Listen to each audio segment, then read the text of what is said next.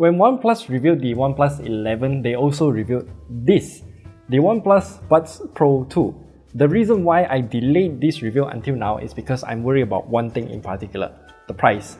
Officially in the US, it is 180 US dollars and I think that is rather high. But then again, there is a lot of good features packed into this pair of earbuds that can actually justify the price. So let's talk about it.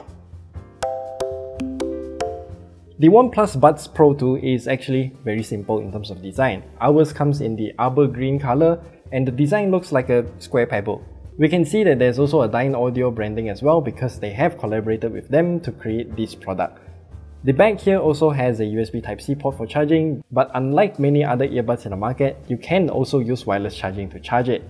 The lid opens up and swings far to the back and that makes it very easy to take out the earbuds. Here we can once again see the Dynaudio branding. The earbuds themselves are fairly simple in terms of design as well. It uses an in-ear design and with a stem sticking out. So it does look like a, I don't know, pea shooter from Plants vs Zombies. Anyway, instead of using touch controls on the earbuds, it uses pinches instead. This is something that I particularly prefer over touching because I always just keep touching my ear by accident and then trigger something to happen on my phone which I find it to be annoying so pinches is like the next best compromise. Then the OnePlus Buds Pro 2 also has a rather fancy non-conventional ear tip design and this whole thing is made out of a very soft silicone and it does have a mesh inside as well to prevent some earwax from falling in directly into the TWS, which is good. OnePlus also included a few different sizes of ear tips inside the box here, so you can choose it to whatever size you want. Looking further at the earbuds themselves, we also have a microphone pointing downwards, so it should sound better when you're speaking into it. So here's a quick microphone test for you. Here's a very quick test of the microphones on the OnePlus Buds Pro 2 and I have to do this on the MacBook Pro because for whatever reason the recorder app built inside the OnePlus 11 does not work with external microphones. So yeah, this is the next best thing that I can do. So do let me know how it sounds down in the comment section below. Let's talk about features now then. The OnePlus Buds Pro 2 uses the Google Fast Pairing service, so when you unbox the earbuds, the phone will automatically tell you that there's something nearby waiting for you to pair it with. Just tap that one button and then it will pair automatically.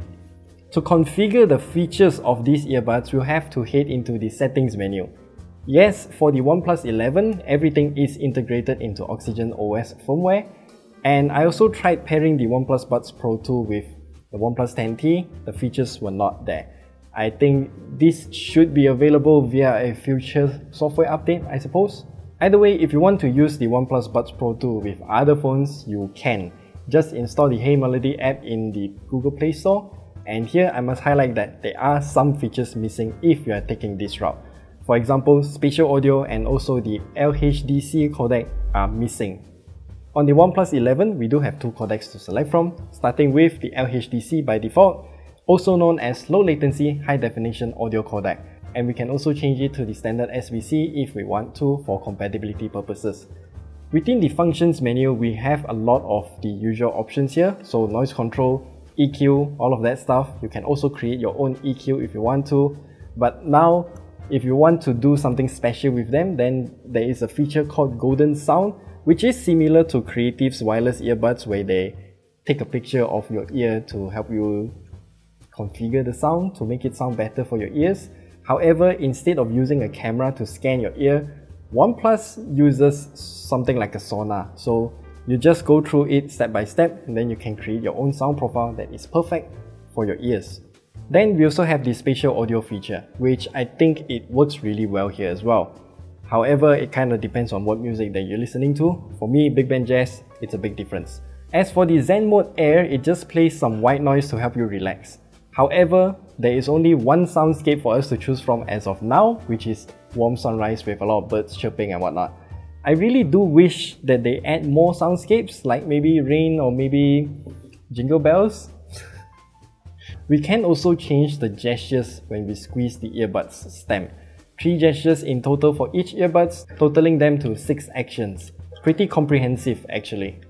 Then one of my favorite features is the dual connection mode. I paired the earbuds with the OnePlus 11 and also with my MacBook Pro and it works really well. I can just mute everything on the laptop and then immediately continue playing music on the phone and the handover between the two connections is just seamless. There is another important feature here which is the earbuds fit test. It just tells you that if you're getting a good seal around the ear or not and that's it. And this is very important if you want to get good ANC out of this pair of earbuds. So how does it actually sound? Honestly, I think it sounds really good. Using the default EQ, it is slightly leaning towards the bass side but overall the sound is really good. My Big Band Jazz sounds amazing and I'm just loving it so far. The ANC is also surprisingly clean as there is no weird hissing sound and I remember that I wore this pair of earbuds during the Lunar New Year because everyone was carpet bombing the sky and this pair of earbuds managed to cancel most of the sound away. I'm truly impressed and you can also select how much ANC you want, but I personally just leave it in the smart mode.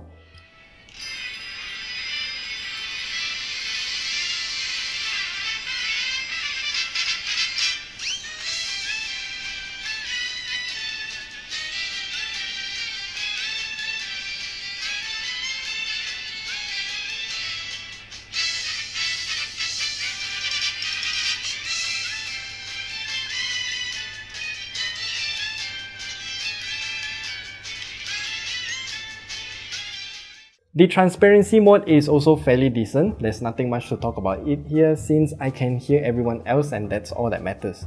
Though I would prefer it if it can automatically jump to transparency mode when I'm speaking to someone. That would be a huge benefit convenience to the users. I also discovered one thing.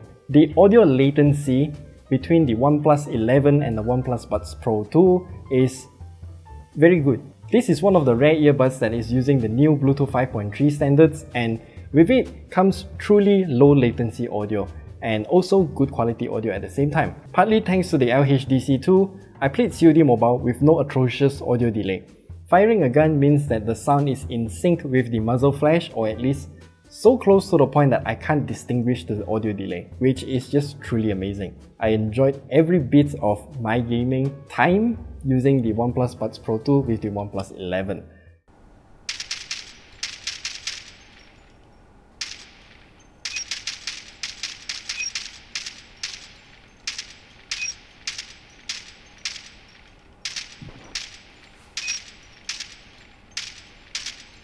And by the way, since I also use the dual connection mode and pair this pair of earbuds with the MacBook Pro, I can actually edit a video using these earbuds as well. There is no audio latency with the laptop, surprisingly. I don't know how they do it, but yeah, just no audio delay.